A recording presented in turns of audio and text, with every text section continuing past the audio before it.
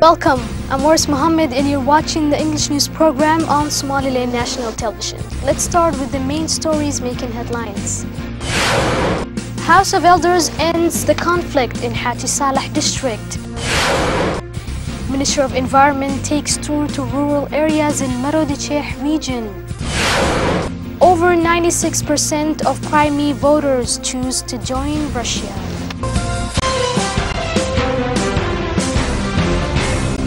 Members of Somaliland's House of Elders listened to the report of the committee appointed to end the conflict in Haji Salah district. The committee on the report stated that the conflict has been successfully resolved. Members of the committee spoke about the process of peacemaking they were sent to complete and clarified that the two parties that were previously in conflict has responded to the resolutions keeping on mind that minor conflicts as such need not be a threat to our stability and that peace is and will continue being the first priority to Somaliland's people.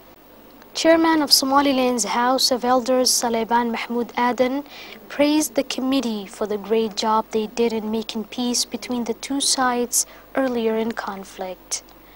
Minister of Environment and Rural Development and officials from Peace Development Affairs Department for the Ministry of Interior briefed media about their tour to several districts in Marodiceh region.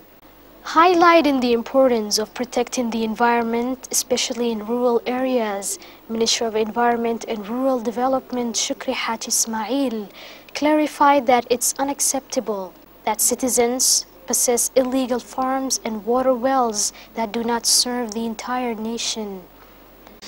During the interview, the minister praised the president of Somaliland's current tour around the country and described it as a step forward and predicted it will result in strengthening the nation's ties and will spread peace and love.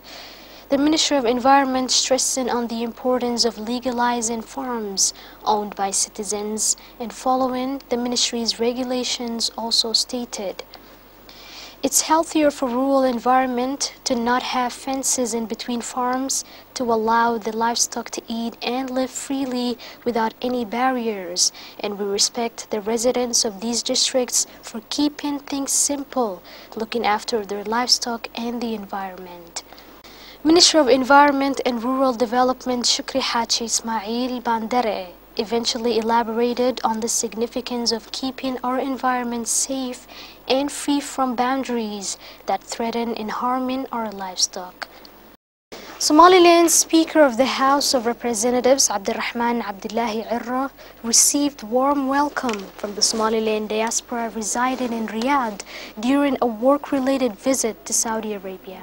The Speaker of the House of Representatives, Abdurrahman Abdullahi Irra, speaking at a host ceremony held by the Somaliland diaspora in Saudi Arabia, commended the Somaliland citizens in Saudi Arabia for the warm welcome they provided and expressed his delight for the cooperative efforts by the community.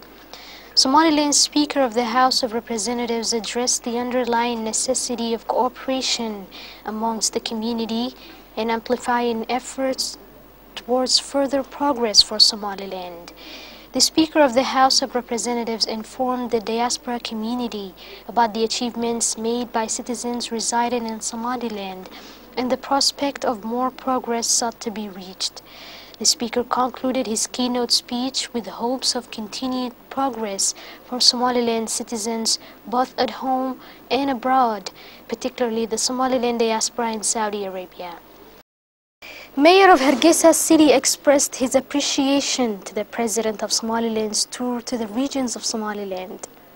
The mayor of the capital city of Somaliland, Abdurrahman Mahmoud Aidid, welcomed and praised the president of Somaliland, Ahmed Mohamed Mahmoud Silanyo, for taking the initiative of visiting the regions of Somaliland. The mayor, speaking to Somaliland National Television, elaborated on the significance of maintaining cooperation between the government of Somaliland and its people. Abdurrahman Soltelco mentioned that the ongoing project that the president witnessed during his tour is a step towards progress and another achievement of President Silanyo's government. On the other hand, the mayor of Hargeisa briefed the media about his trip to Djibouti and the overall outcome of that trip. Abdurrahman Soltelco, explaining the objective of that trip, stated that this trip was focusing on twinning the two capital cities, Hargeisa and Djibouti. He also added that Somaliland and Djibouti's governments share a long-lasting relationship. Abdurrahman Soltelco told reporters of Somaliland National Television that the mayor of Djibouti is expected to visit Somaliland on May. Djibouti is a very close friend and recognized by the international community for their hard work, and we are grateful for their cooperation, the mayor concluded. Residents of the capital Hargeisa expressed admiration to the historic visit of the Somaliland President Ahmed Mohamed Mahmoud Silanyo to the eastern regions, particularly the coastal city of Las Qore.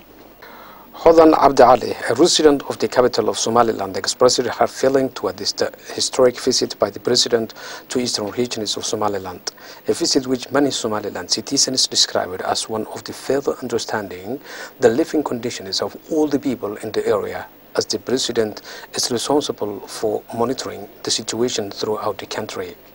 She stated that it is a success for the Somaliland citizens and for the government so that citizens should not succumb to their accomplishments and that citizens ought to cooperate hand in hand with the government to ensure that many objectives were brought to fruition. It is the first time Somaliland president pays visit to Las Qore and plays a foundation stone at the port of Las Qore for renovation efforts announced to be underway. It's likely to take the region forward and the port city as well. We must stand shoulder to shoulder with our government, said another president. The president's visit of Las Qore shows the Somaliland government's commitment and dedication to ensuring excellence in serving the citizens, as well as regularly monitoring the situation in a number of key areas throughout Somaliland. We want our president to continue such a progress. This has boosted our morale and we want his success. The government's objectives are ours and its achievements trigger our delight, said a young man. Nonetheless, the citizens' expression of their feelings as delight for the progress made thus far by the government and the historic visit the president paid to the port city of Las Qore, located in the far eastern region of Baran.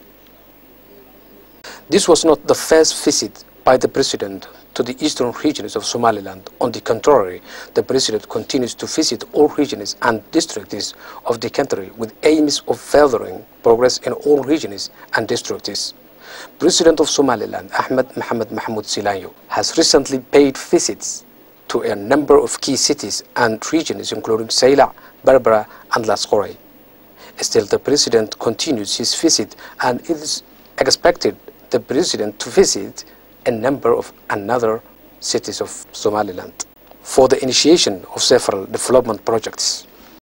You're still tuned into the English news program on Somaliland National Television. And now for the international headlines in detail.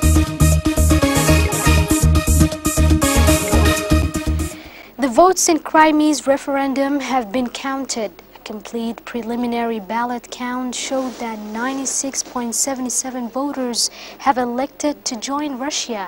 The chairman of the Regional Government Commission overseeing the referendum said on Monday. Over 96% of Crimea voters choose to join Russia. Mikhail Malyshev said the number of voters of the Crimea referendum is 1,274,96 persons which is a turnout of 83%. The vote and Russian troops intervention in Crimea have triggered the worst East-West crisis since the Cold War. Crimean Prime Minister Sergei Aksionov's Regional Assembly arranged the election, which is not recognized by Kiev because it doesn't consider the vote legitimate.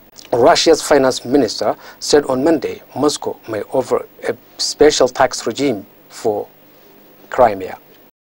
Thanks for watching. That's the end of our news. You can catch us tomorrow at the same time. Take care.